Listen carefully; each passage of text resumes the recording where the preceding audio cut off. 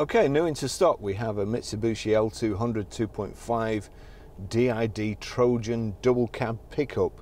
It's four wheel drive, selectors there. It has done 38,540 miles.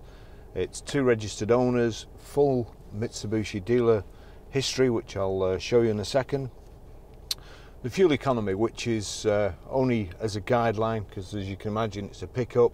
You could have anything in the back there, but probably empty. Urban is 30.7 miles per gallon, extra urban 39.2, and combined is 35.8. A 0 60 time of uh, 12.1 seconds out of 175 brake horsepower engine. Um, I'll just show you the service history. Um, things are, are, getting difficult for, for dealers these days. It, it's bad enough when um, we, we always do our due diligence checks to make sure that the car's got proper service history and we, we do check up. However, Mitsubishi in their wisdom, instead of having a, a proper stamp with the name and address of the dealer and the telephone number, they have uh, these, which um, are neither use nor ornament. 2015. Fortunately, we managed to track down this dealer. I suppose we could have done it by ringing Mitsubishi themselves, but it's GB0404 and it's the uh, dealer at Skipton. Uh, and the only way we could kind of do it was because they'd had a battery check and there was a there's a, a slip here, and we rang them just on the off chance. So, um, with this data protection rule now, the previous owner, uh, their name's redacted out of the uh, uh, off the logbook. Um, I'm not sure how we're going to go on with service histories. With I, I like to see a, a, proper stamped service book, and I like to see all the service invoices.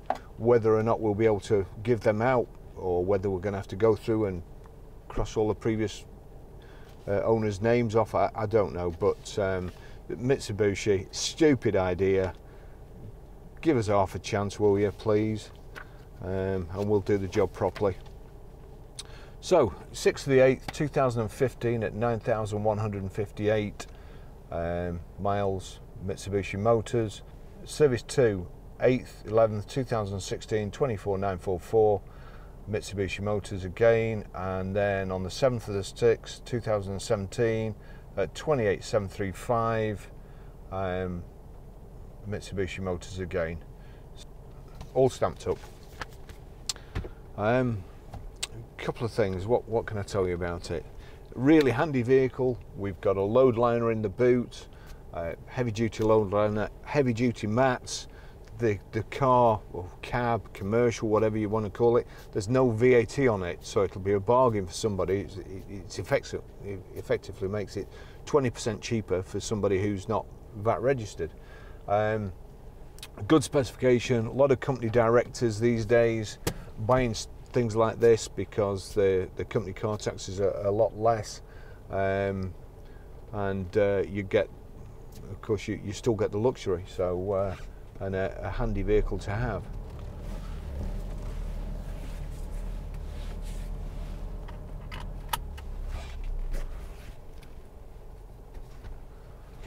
Okay. So we've got before I go I'll just show you these Power folding door mirrors.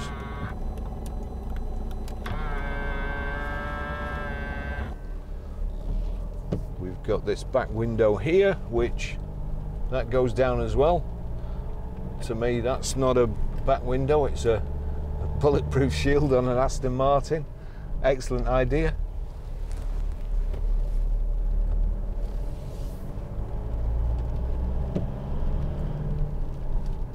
air conditioning CD radio. We've got electric windows, electric door mirrors, a five-speed gearbox, your four-wheel drive high and lows here.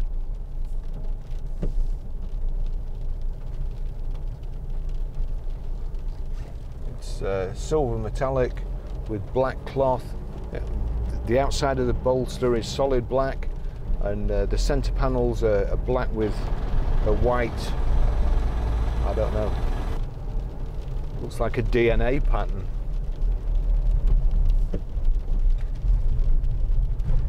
tailgate at the back drops down. I can't remember whether I mentioned matte black alloy wheels, and it's also got Bridgestone Dueler tyres on, so well shot all round. We have this thing here which average speed, outside temperature, elevation of minus 100 meters, so it's a wonder we're not underwater. Barometer uh, and uh, the time there. Indicators here on the left, wipers on the right. Your uh, R and D lock there.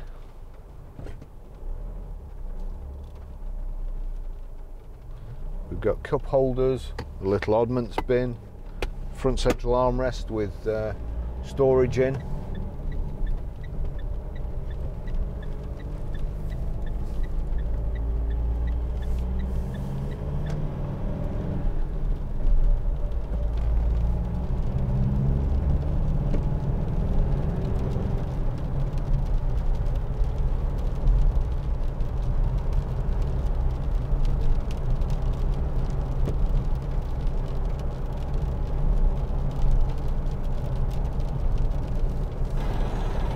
Interior.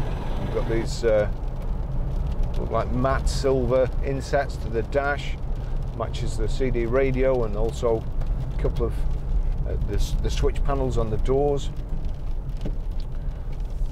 On the side of the car or, or below, you've got side steps and they're kind of chromium steel bars which also serve as you, you, see lots of things, especially that been on building sites, and all, the sills are smashed in.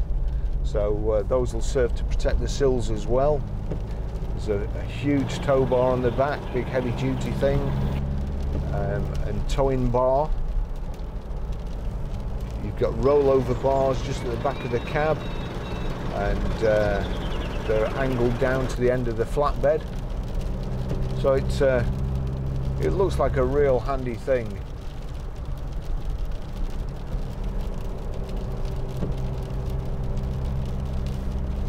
Got a, a height adjustable uh, steering wheel and uh, the seat's height adjustable as well with a little wheel here.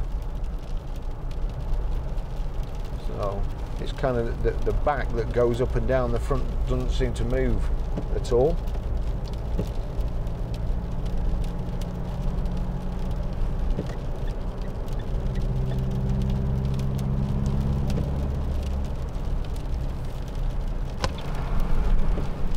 The electric windows. We know the wipers are working fine.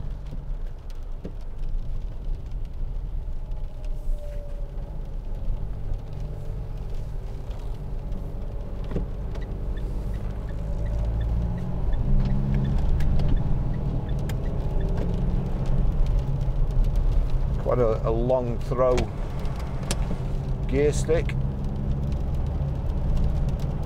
but uh, nice and easy, nice clutch, nice easy change. It's a good driving position.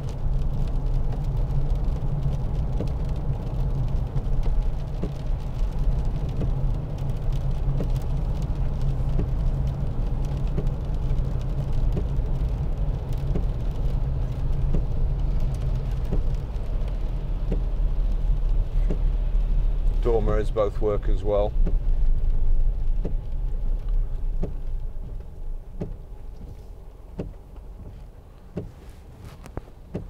Nice padded armrest here. You've also got a little oddments tray there. It comes with all the books which are in the glove box and uh, it, uh, the locking wheel nut keys in there as well.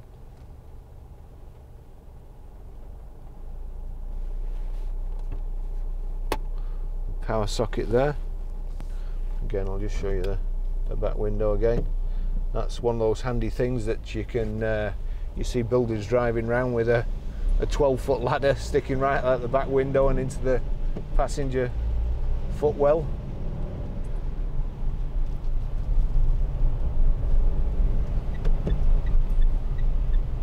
Or a few pieces of wood.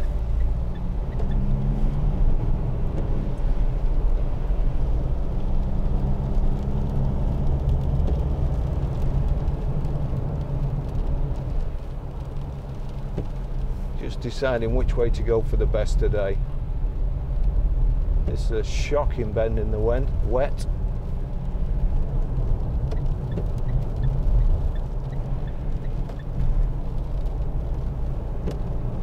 It's not raining that hard, but there's lots of standing water around here. Always see cars skidding off there. Very, very slippy bend.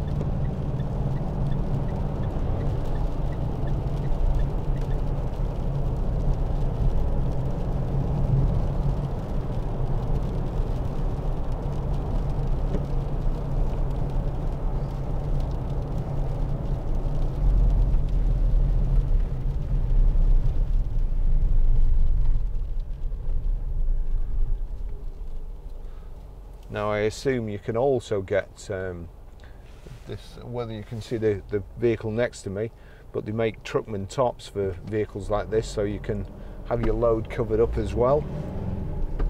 And you see there, whole family in the, that uh, pickup with the truckman top on. So it's just not just for workmen, leisure as well. Got any uh, you know outdoor pursuits, mountain bikes, canoes, you name it ideal thing. And with the four-wheel drive, it'll it'll get you to wherever you want to go.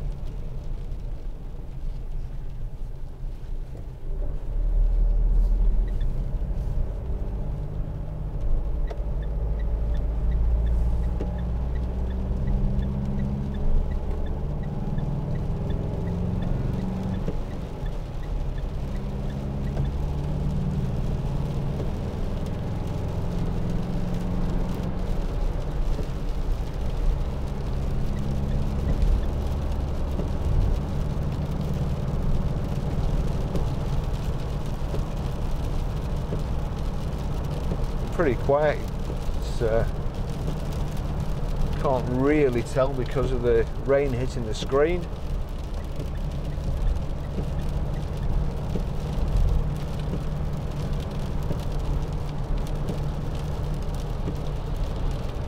uh, steering's nice.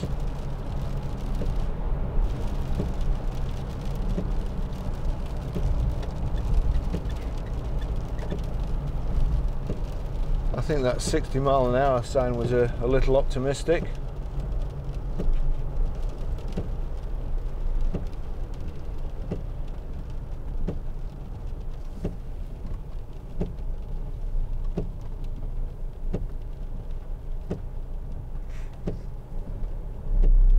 And of course I've just remembered it's bank holiday weekend and this road goes to Blackpool and the Lake District.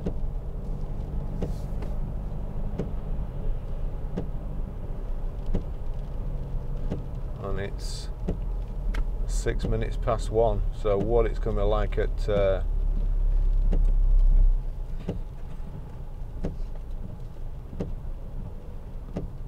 four and five o'clock.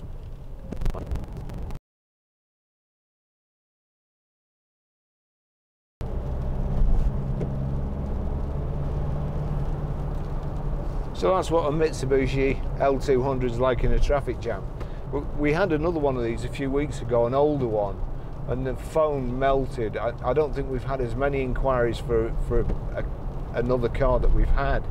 Um, it, it, was just non-stop. Um, we had a lot of people wanted to buy it. Now this is twice as much as that one, so that cuts the field down quite a lot. But uh, certainly, if, if you if you've got a business and you only want one vehicle to do everything, your family life and your business, then then this is ideal. Although I wouldn't recommend leaving your tools in the back with it being open.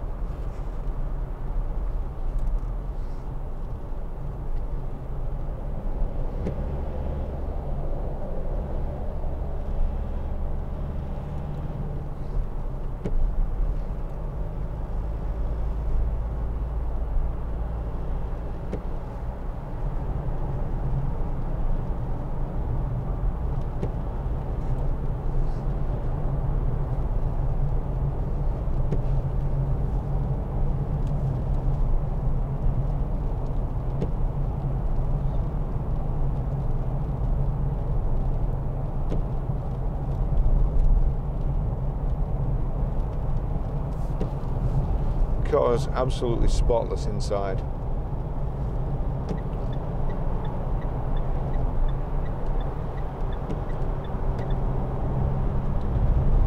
And another thing is when we rang the Mitsubishi dealer about um, this vehicle just to check the service history, um, they told, or the person told the previous owner was known to them and uh, it was an exceptional vehicle. So we're pleased to have yet another great uh, and unusual car in stock.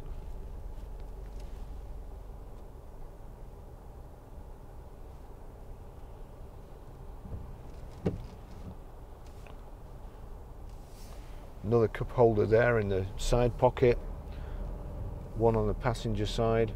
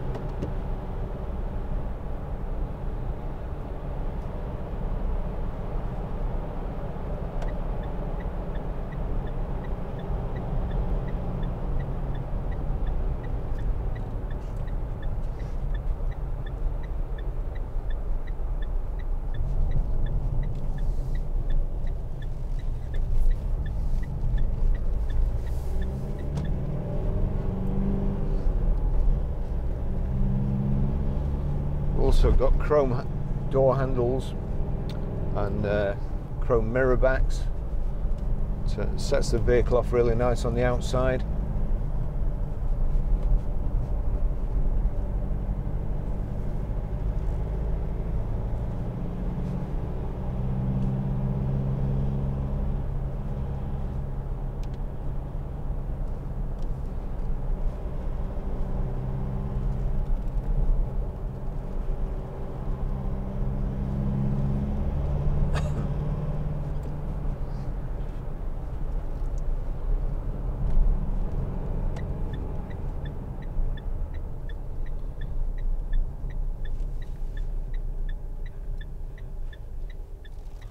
Maserati Levante there. I want one.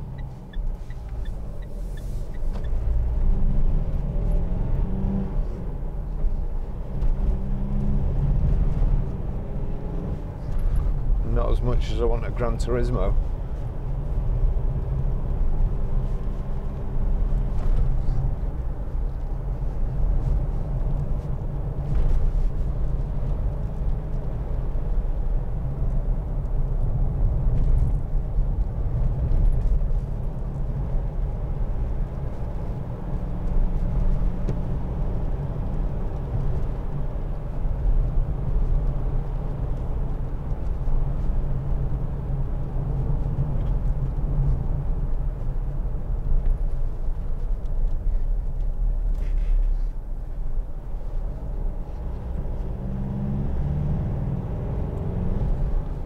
Also there's an indicator on the dash there to tell you which wheels are being driven at the moment and will change when you move this selector.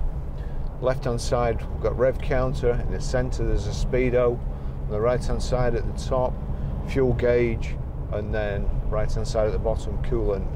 In the in the speedo display you've got your uh, odometer and also your trip counter outside temperature there, time and uh, compass.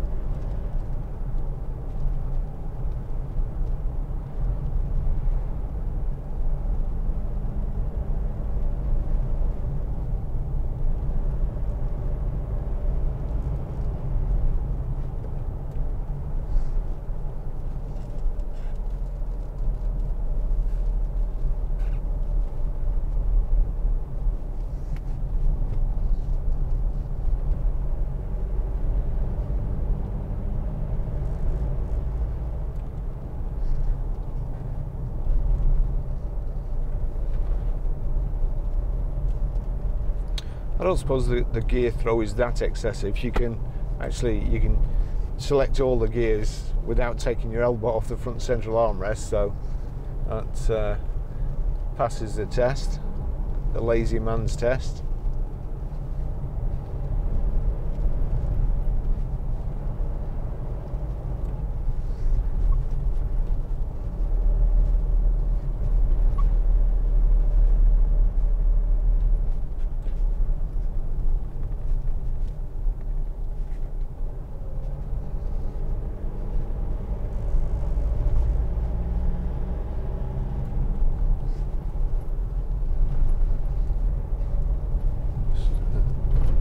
Switch the Hear about the wave of phishing emails that have come with it. And what do we know about those? So our radio works. Good sound in the cabin.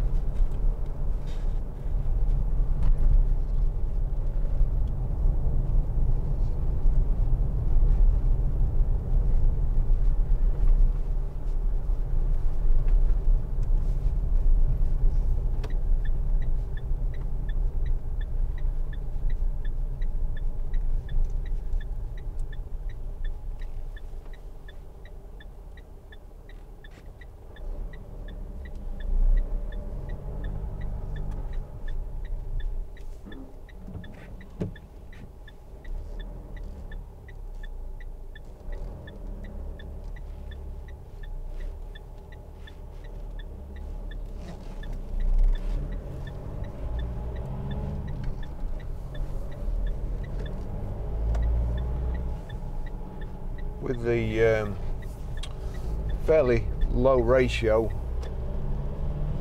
steering rack and uh, the huge kind of sidewalls on the tires, you you have to give it a little bit more of a turn going around corners than you would normally expect. But uh, pretty sure all pickups are the same.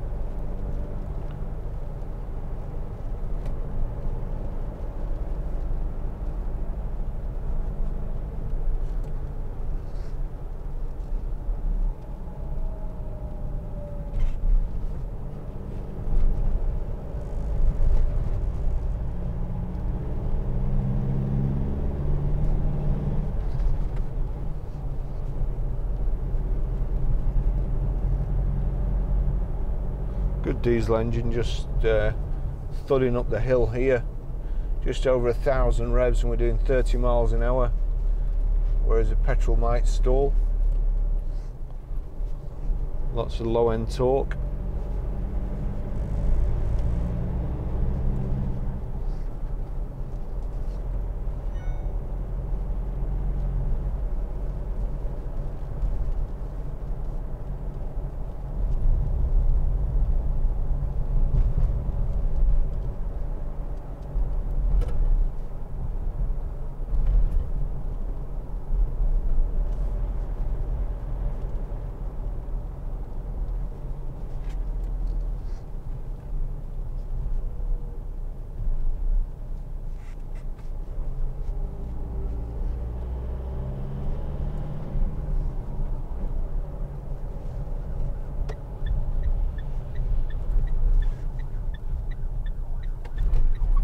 Being pulled over, it's an ambulance.